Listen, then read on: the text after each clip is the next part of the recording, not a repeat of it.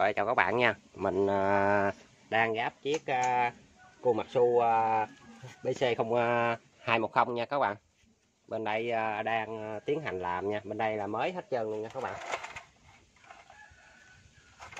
Đây, Cái tạ bên đây nặng à, 1 kg 3 kg 4 gì á Bên đây lên à, cái cần nó rất là bự luôn nha. Nó dài hơn à, mấy cái chiếc xe đó luôn không? Nó đưa lên cái một là dài dữ lắm dài nha. Gáp vô đây cần này quá trời bự rồi. Đây còn là cái mình nha, đang làm rất là gấp rút luôn mà làm không gọi nha các bạn. Bên đây cái à, cần ở ngoài nè. Ở đây à, lên mấy cây ti này mình à, tự chế mấy cây ti này hết nha. Hôm nay mấy cây ti nè, bởi vì nó mới lâu nè. Mấy cây chục dít nè, hôm nay chế nó nó dài hơn nữa nè. Tự mình chế nha. Nó rẻ tiền hơn mình mua nữa nó, nó dài lắm nha nó rút ra chổi ra dài rất là dài luôn nè. Thấy không? Tự mình chế mình muốn dài bao nhiêu cũng được hết nha. Đó bên đây à, lên à, cái bộ mạch nó cái lo nó kêu à, lớn hơn luôn nha các bạn. Là cái lo nè. Là cái lo thấy không? Cái lo nó kêu lớn hơn à, mấy cái lo trước nữa nha. Mấy lo trước à, nó kêu nhỏ qua này lên 07 rồi cho nó bự bự chút xíu nha đó, giờ ờ, mình bắt đầu mình ờ, tiến hành gáp vô nha. Chưa có lên tem đâu nữa nha.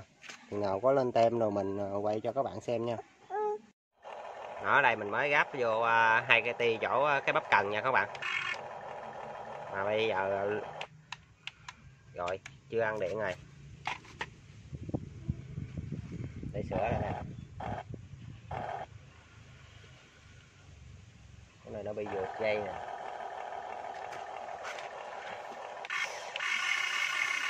Cái này à, của mình làm của nó thọc cái là sâu à, ngập cần luôn á nha.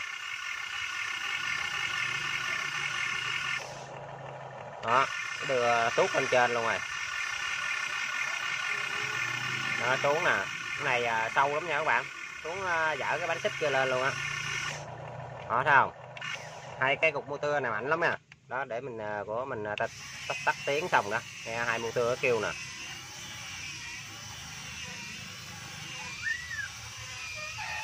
Đó, lên đó. Đây ờ, mình ờ, mới có đang thử nha.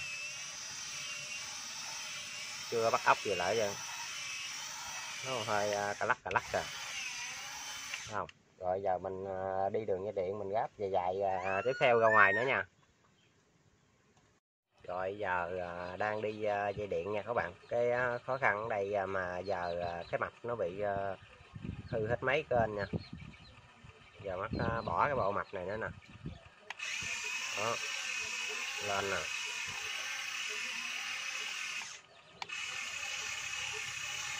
Lên cao dữ lắm nha.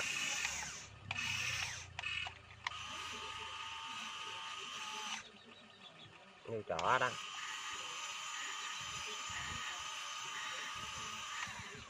Ừ. Bên đây à, chuẩn bị chút nữa, mình bắt đầu mình ờ, mình dán tem rồi cho nó luôn nha. Bên đây ờ, đang gáp vô mấy kênh nó bị hư nữa. Hư mấy kênh giờ tùm lum hết. Bên đây cái dàn chân của nó lẹ vậy lắm nha các bạn.